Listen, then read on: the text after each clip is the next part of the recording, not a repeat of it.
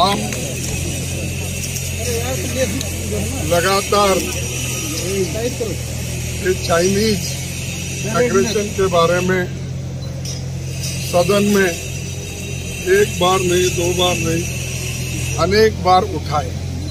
मतलब मोबाइल छोड़ और सरकार चर्चा को टालती रही।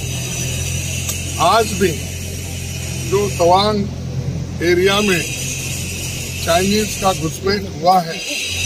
उसके बारे में भी हम आज चर्चा करना चाहते थे। इसीलिए हमने सभी अपोजिशन पार्टी के नेताओं ने मिलकर नोटिस भी दिया था। लेकिन वो चर्चा के लिए तैयार नहीं थे।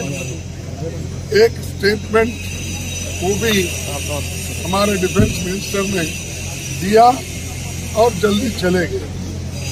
ये हमारे सदन की प्रथा रही है, प्रैक्टिस रही है कि जब कोई स्टेटमेंट मिनिस्टर करता है किसी विषय पे तो उस पर क्लैरिफिकेशन पूछा जाता है। और हमको यही कहा गया, सदन के नेता ने और हमारे डिप्टी सभापति ने भी यही कहा कि क्लैरिफिकेशन का अवकाश। लेकिन क्लैरिफिकेशन को भी उन्होंने हमको मौका नहीं दिया और हमारे बात सुनने के लिए भी वो तैयार नहीं है। हम यही चाहते थे कि चर्चा के बाद सुन के वो रिप्लाई दे। हम सुनने के लिए तैयार थे, लेकिन उन्होंने इस मसले को अपने ही तरीके से एक प्रचार लेने के लिए अपनी बात रखे और चले गए।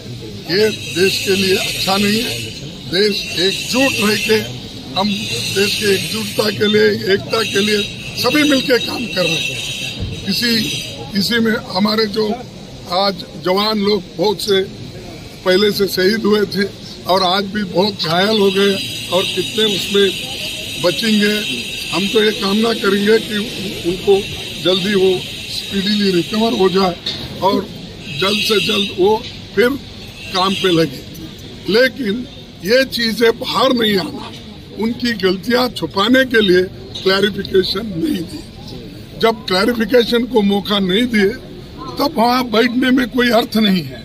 तो इसीलिए हमने ये तय किया कि सब मिलके प्रोटेस्ट करके वॉकआउट करना। तो हम वॉकआउट जो किए हैं, उनके एटीट्यूड के ऊपर और वो जो कहना था और हमको बताना था, वो चीज़ें हमको नहीं बताई। इसीलिए हमने ये सभी पार्टी के नेताओं ने ये तय किया कि बेहतर ये है। खुद जब डिफेंस मिनिस्टर ही जैसा वॉकआउट करते, वैसा उन्होंने ही वॉकआउट करके चले फिर पूछना किसको? तो हमने ये सोचा कि हमारी बात तो सुनी गई नहीं। हम आपको बताने के लिए यहाँ आए हैं। इसलिए हमने वॉकआउट किया। लेकिन देश की सुरक्षिता के लिए, देश की अखंडता के लिए हम सारे एक हैं। और जो हमारे जवान बॉर्डर पे अब लड़ रहे हैं, हम सभी लोग उनके साथ हैं। इसमें कोई दो राय नहीं।